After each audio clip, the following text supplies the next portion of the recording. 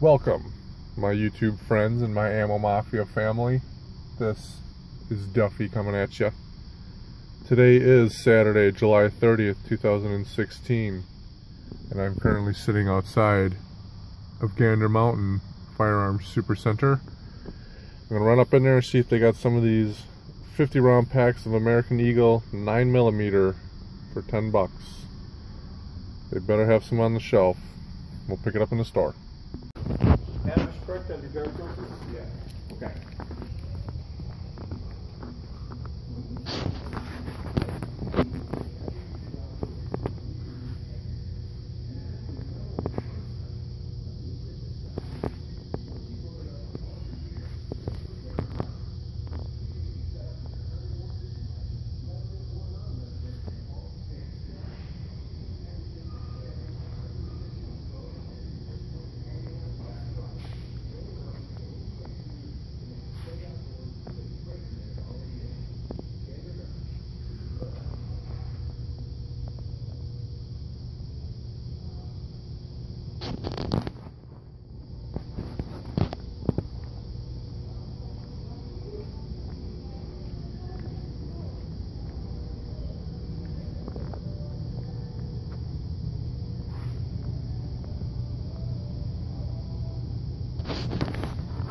A buck or 10 bucks.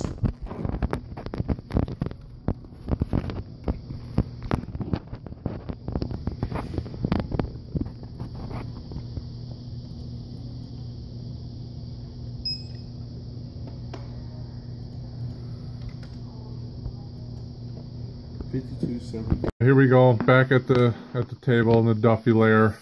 Um, the limit was five boxes, so that's what I took. There's only 15 on the shelf, so typical Gander Mountain having a sale and they don't even have enough ammo on the shelf really to supply.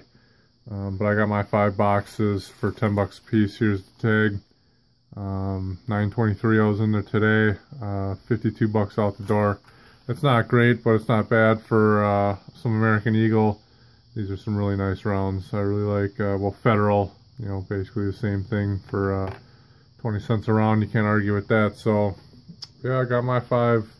Just want to share with you guys, um, you know, I picked up whatever, six of these hex mags uh, a couple weeks ago. And uh, I put some of that uh, grip tape stuff on it. It comes on a, on a piece of paper like this, you know, and you just peel them off. But in between, it's got, uh, you know, whatever the laser cuts are. So what I did is on the bottom, I, uh, I, I trimmed that out and stuck that on to the uh, base plate of the magazine. I think it looks pretty sharp.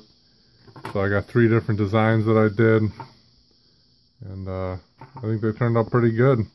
Um, only thing is like this, um, whatever taper that's in the magazine, they don't really stay down. So I took a little super glue, just dabbed them in so these stay down where they're supposed to. But so I just want to share that with you.